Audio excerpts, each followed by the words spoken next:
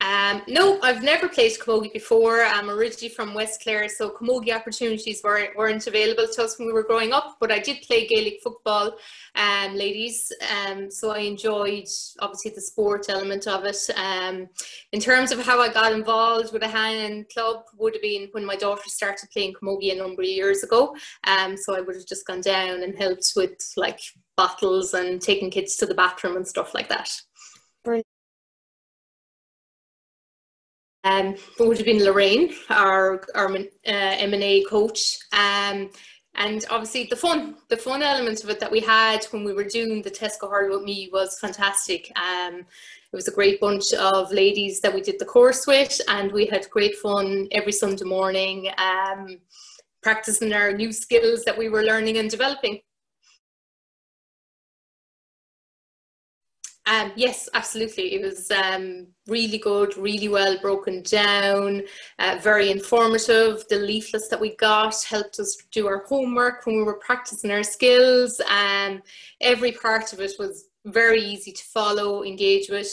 Um, the time input wasn't significant, and it was actually a nice break to get away from the house to be involved in something.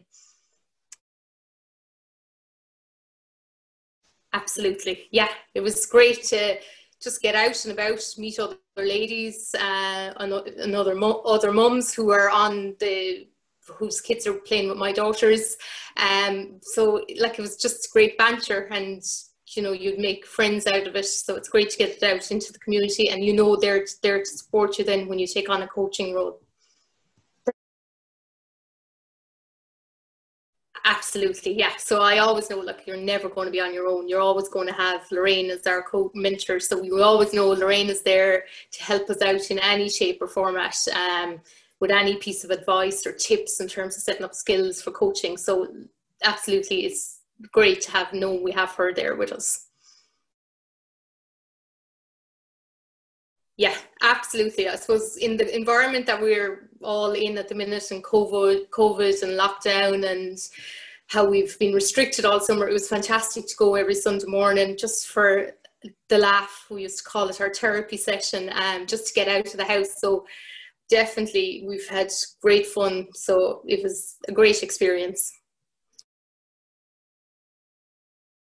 Yeah, definitely. Um, I have three daughters, four of them, or four daughters, three of who will be playing next year. So I'm sure I'll definitely be involved in one of the underage teams. Yes, absolutely. Uh, any mum out there um, who would like to get involved, help is always welcome in any club. So for anyone that would like to get involved in the coaching side of it, it's a great way to start and to learn the skills. Um, when I started this, I wouldn't have been able to hit a ball, not alone hold a hurley properly. And surprisingly, after the four or five weeks, we're able to get the ball out of our hands. So it's even just great from that. And you're, you're demonstrating to your kids that you're willing to be involved as well. And it keeps them interested, which is very important.